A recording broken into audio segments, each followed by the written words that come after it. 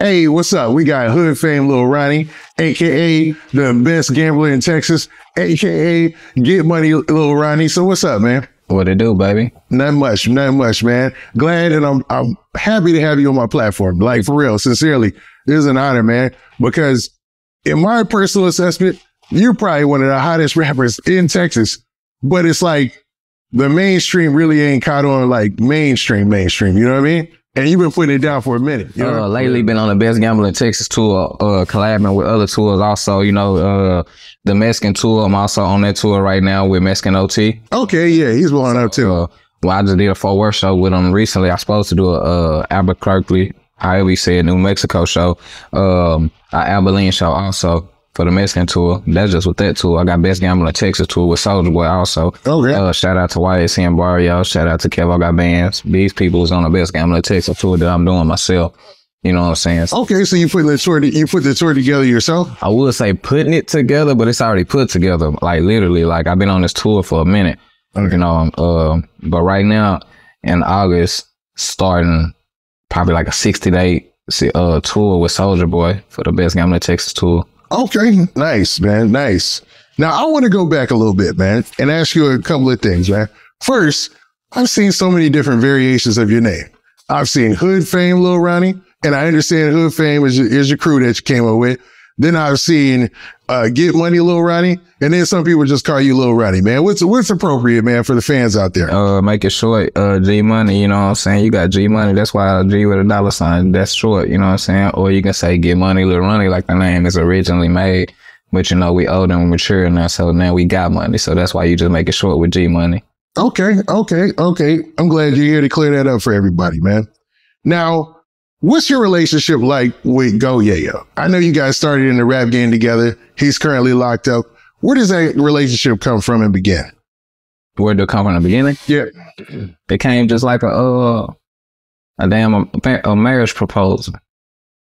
Literally. Okay, you caught me off on that one, man. I, I, I what do you mean Yeah. a marriage proposal? when you have a marriage proposal, the damn proposing to you, it's random. They try to make sure it's a surprise or element when they let you know, will you marry me? They try to make sure it's the best of surprise. So I wasn't expecting to meet him on the way that I did meet him. And then when we did meet each other, we got married to the mic. Up, down, bumpy road or not, we stayed down Okay. with the vibes. I like that. I like that. I like that, man. You know, that would throw people off initially, but nah, I get it, man. I get it. Now, how long have you guys been friends? 20, uh, 12, 13, something like that. Wow. End of 2012, beginning of 2013 type. Now, there's a lot of rumors about Go Yayo possibly coming home pretty soon. Do you know anything about that? Do you have any inside information? So soon, he should have been home today. Like, so soon, he should have been home this month. But he had a little mishap going on, but literally. Oh, really? So Go Yayo should already be out of out of prison. He should have been home this month, but he probably had some little that happened in between. I'm telling you, his maximum release date is January, but he had some little because you know everybody that be in the feds down there get qualified halfway house. Yeah. You know, halfway shorten your time, but the halfway house shorten your time a little bit. You get to be in the halfway house, but in the free world a little bit. Plus, he had already been locked up prior, so that should have cut his time, right? So that's why you say soon.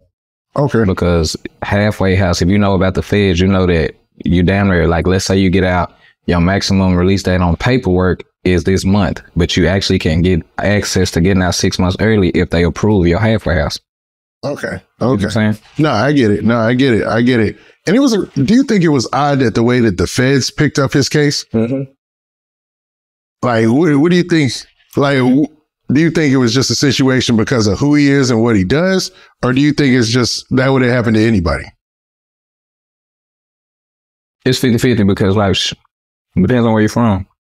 But I do feel like he shouldn't win because he wasn't on the books. Like, you go to the federal penitentiary for being a felon with firearm. He wasn't a, fel- a convicted felon, so nah, it was random and weird.